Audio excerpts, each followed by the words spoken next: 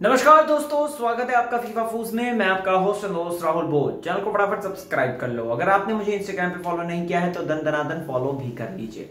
आप लोगों को बताना चाहता हूँ कि बिग बॉस के घर के अंदर भले ही करण कुंद्रा को इतना ज़्यादा प्यार ना मिला हो ऑडियंस से मिला, लेकिन कंटेंडर से या फिर सलमान साहब से, लेकिन हाँ एक टैग ज़रूर मिल गया टॉक्सिक बॉयफ्रेंड का कि ही इज़ वेरी टॉक्सिक अब आप सभी दर्शकों को बताना चाहता हूँ कि उनकी इस टॉक्सिक इमेज पर क्या कहना है? None other than Vikas Gupta का। तो चलिए आपको इस वीडियो में बताता हूँ। विकास गुप्ता साहब जो पहुँचे थे करण कुंद्रा के घर, उन्होंने ई टाइम से बातचीत करी है। और उसी बातचीत के दौरान उन्होंने एक बात बोली, वो कहते हैं, करण कुंद्रा को डिफेंड करते हुए कहते हैं कि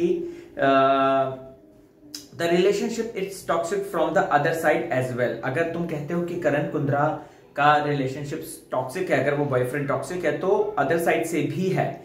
ही uh, उन्होंने ये भी कहा कि it is not a one sided thing and if one person is is one person in a relationship is troubling another one and the other one will not keep quiet and would do the same or uh, so what? ठीक है? तो यहाँ पर उन्होंने साफ़ कह दिया कि एक हाथ से ताली नहीं बचती है, दोनों हाथों का ही एक कमाल है और दोनों तरफ़ से है और दोनों तरफ़ के ही हम रिलेशनशिप को टॉक्सिक कह सकते हैं।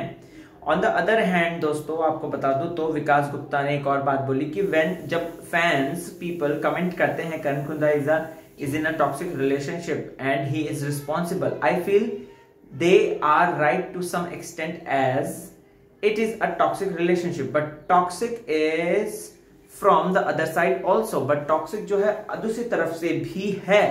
इसका मतलब क्या? दोस्तों यहाँ पर वो कहते हैं कि तेजस्वी जैसे बोलती है, शक्ल देख अपनी, और तेज, तू करयाता तू कायराता की निशान, निशानी है। अच्छा यूर सिंबल ऑफ़ अच्छा कायरता की निशानी है। तो ये सब क्या है? तो दोस्तों, आपको क्या है कहना इस बारे में? कमेंट करके ज़रूर बताएँ। Bye bye